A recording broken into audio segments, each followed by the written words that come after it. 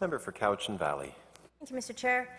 I also have uh, just a question for the minister, and it's a question that I actually asked about last year, so I'm revisiting it. It's a, in my writing, there is the Cowichan Biodiesel Co-op. They sell a variety of, uh, of biodiesels with different, different levels of um, biodiesel generated from cooking oil.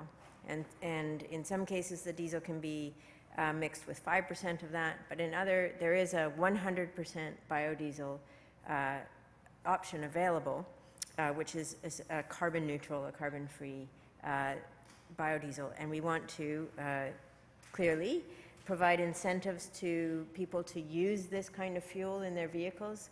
Um, and, uh, and so I'm revisiting the question that I had last year, which was about um, the carbon tax continues to be applied to this 100% biodiesel. And interesting to note, um, Cowichan Biodiesel actually just completed an audit uh, for the Ministry of Finance.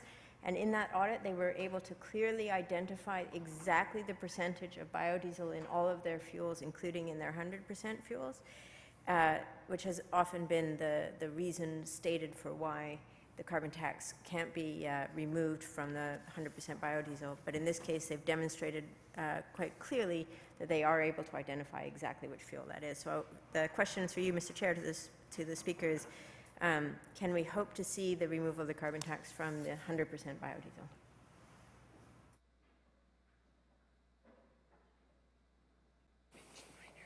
Minister. Thank you very much, uh, Chair, through you to the member, and uh, thank you for the question and the, uh, the continued advocacy on behalf of uh, what is a unique company, uh, no question, in, in Cowichan.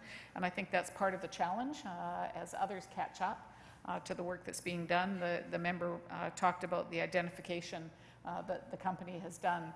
That isn't practice across across the, the industry and across other uh, examples of, of, biofuel, and that then creates the challenge. That's the challenge with putting together a program uh, for, in fact, one company that's done the work around the measurement and other companies haven't. Um, so that makes it complex. Um, but given all of that, uh, there's no question that we're continuing to look at how we can uh, incent the use of biofuels, um, and including 100%, of course, uh, biofuel. So um, we'll consider that as part of budget uh, discussions and happy to have uh, further com um, conversations, but happy to receive the information as well uh, from the company around the work that they've done.